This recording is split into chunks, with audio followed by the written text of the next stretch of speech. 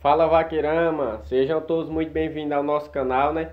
Hoje vamos falar um pouco de Fé Vaqueiro, ele que esse final de semana deu um show, né? No Bolão de Vaquejada. Mas antes de tudo, você que não é inscrito em nosso canal, se inscreva-se, deixa o like, ajuda demais ao nosso canal a crescer. É, o Fé Vaqueiro, ele que vem aí na cela desse grande cavalo, né? Que é o cavalo Dom Roxinho, ele que pertence ao Aras Vitorino, né? E o Fé Vaqueiro vem fazendo grandes apresentações no Dom Roxinho. A primeira vaquejada que ele saiu, né, que foi na, no começo do ano, o Fé Vaqueiro ficou em primeiro lugar e em segundo colocado, montando o Dom Roxinho. E o Fé Vaqueiro já saiu aí várias corridas, né? Vários bolões de vaquejada e tirou vários prêmios já nesse cavalo, na cela desse grande cavalo. E esse final de semana, o Fé Vaqueiro e é, estava correndo na vaquejada do Parque Aras RC, né?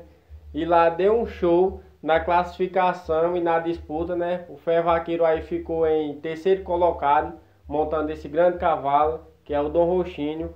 E essa dupla é uma dupla muito diferenciada, né? Que vem fazendo grandes apresentações aí nas vaquejadas, ganhando muito prêmio. E com certeza eles vão ganhar muitos prêmios aí, né? E o Ferroaqueiro também vem com muitas montarias aí, né? Na, vem com vários outros cavalos bons, né? Vem iniciando também. E o Ferroaqueiro vem fazendo grandes apresentações nesses animais, né? E é isso aí, vaqueirama. Finalizando o vídeo por aqui, né?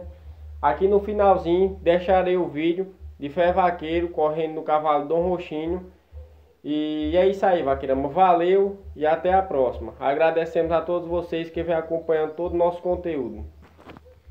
E vai, vai, vai, vai pro descendo. Trabalha a equipe do Maranhão, representa o Varas Vitorino da equipe de Corota. Vai descendo, botando o turbo, vai indo, radicão. Vai descendo, ele busca as linhas paralelas, entrega no viro da canhota. E o boi desse equilíbrio.